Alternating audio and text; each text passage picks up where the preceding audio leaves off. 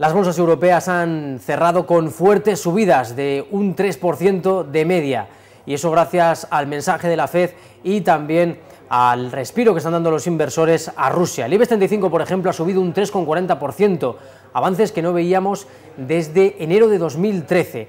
Las mejores condiciones de financiación del Estado español han beneficiado a los bancos y a las constructoras. Fruto de ello, Bankia ha liderado las subidas con un 6% y ACS avanza un 5,18%. Inditex también ha ganado un 5,68% debido al respiro de Rusia. Entre los que han tenido un peor día podemos hablar de tímidos avances para Yastel y también de subidas superiores al punto porcentual para OHL y Abengoa. Según el analista técnico de Bolsamanía, José María Rodríguez, aunque no podemos lanzar las campanas al vuelo, tampoco es momento de pensar que podamos volver a bajar como en las últimas fechas. Así que ya saben que tienen toda la información financiera aquí en bolsamanía.com.